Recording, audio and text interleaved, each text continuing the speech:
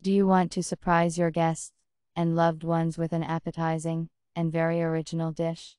Then remember this rather simple option how to cook chicken legs from minced meat. The mushrooms should first be crushed and sent to a frying pan with a small amount of butter. Fry until tender. In a separate frying pan, fry finely chopped onions and grated carrots. From the hams, you need to carefully get the bone, having previously cut off all the flesh. Pass the meat through a meat grinder, combining with fried vegetables.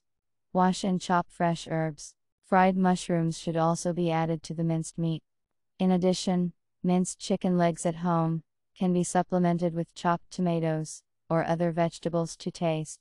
Drive an egg into the mass.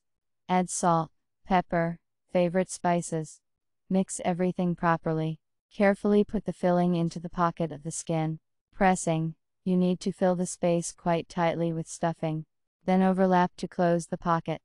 If desired, you can fix it with toothpicks. For example, put the finished legs on a baking sheet. To make the crust more appetizing, you can lubricate the top with sour cream or mayonnaise. For example, another option to make minced chicken legs more appetizing is honey sauce. Place the baking sheet in the preheated oven and bake for about 45 minutes.